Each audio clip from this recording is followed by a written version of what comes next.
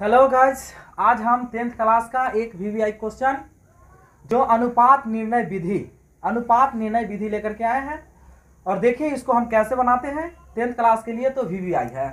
देखिए, अनुपात निर्णय विधि बनाने के लिए जो बराबर का दाएँ साइड है, और देख रहे हैं, ये बराबर के दाएँ साइड नाइन है, यहाँ फोर है।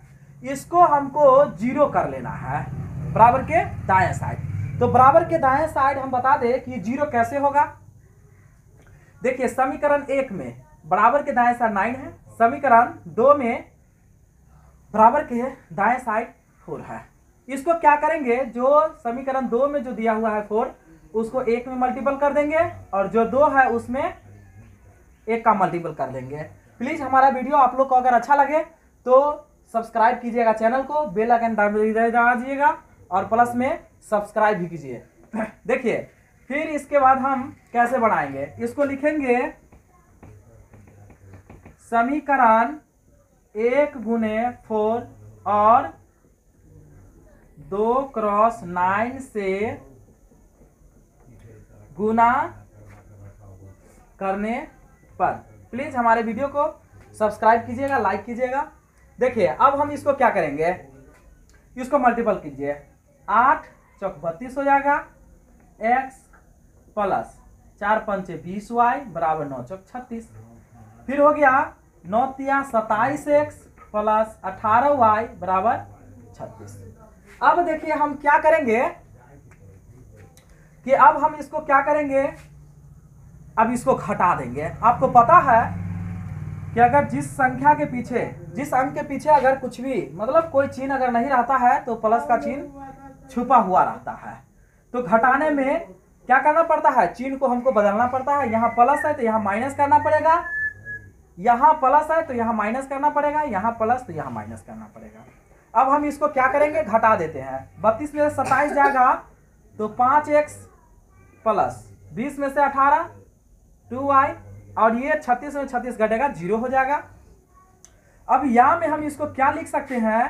पाँच एक्स इक्वल, देखिए, बराबर के इस साइड दाएँ साइड अगर ले जाते हैं वाई को, ये प्लस में तो यहाँ माइनस में हो जाएगा। इसको बराबर हम लिख लेते हैं के माना। ठीक है? एक बात आपको हम बता देते हैं कि इसमें एक्स और वाई का मान निकालना। देखिए वाई का पीछे जो होगा, वो एक्स का वैल्यू हो जाता, और जो एक्स के पीछे होगा, वो वाई का वैल्यू हो जाएगा। तो देखिए, इसको ये हो जाएगा, और इसका ये हो जाएगा। देखिए, यहाँ के माने हैं जो एक्स के वैल्यू जो हम लिखेंगे, उस संख्या के साथ के को हम मल्टीपल कर लेंगे। देखिए एक्स इक्वल क्या हो जाएगा? माइनस टू के हो जाएगा। और इसी तरह से वाई इक्वल क्या हो जाएगा? फाइव के हो जाएगा। अब देखिए, इससे आगे हम कैसे सॉल्व करते हैं?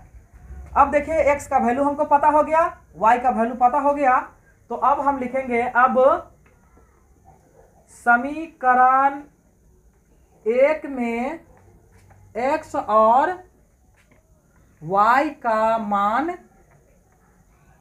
रखने पर मान रखने पर। अब देखिए यह समीकरण एक, क्या है हमको? Eight x plus five y equal nine देखिए, x का वैल्यू हमको इतना है पता और y का वैल्यू इतना पता है। लिखेंगे एट क्रॉस माइनस टू के plus five cross five y equal nine अब हम इसको क्या करेंगे? इसको क्रॉस मल्टीपल करेंगे। माइनस सिक्सटीन के हो जाएगा प्लस फाइव फाइव जा twenty five y equal nine अब इसको हम क्या करेंगे? पच्चीस में से सोलह को घटा देंगे, हो जाएगा नाइन के इक्वल नाइन के इक्वल क्या हो जाएगा? नाइन बाई नाइन इसको काट देंगे एक. मतलब के बराबर हमको कितना पता चल रहा है? एक चल रहा है. अब हम क्या करेंगे? यही x में और y में क्या करेंगे हम? K का मान पुट कर देंगे। लिखेंगे अब x में k का मान रखने पर। तो देखिए, x बराबर क्या हो जाएगा? माइनस टू के अब लिखेंगे माइनस टू क्रॉस वन। क्या हो जाएगा? Minus two. कहने का अर्थ है x का वैल्यू हमको माइनस टू पता चल गया। फिर y में k का मान रखने पर, अब देखिए y क्या है? फाइव के है। हमको पता है कि k का वैल्यू कितना पता है? एक। इसमें करेंगे फाइव क्रॉस एक मतलब फाइव हो गया। तो इसी तरह से x का वैल्यू हो गया माइनस दो और y का वैल्यू हो गया फाइव।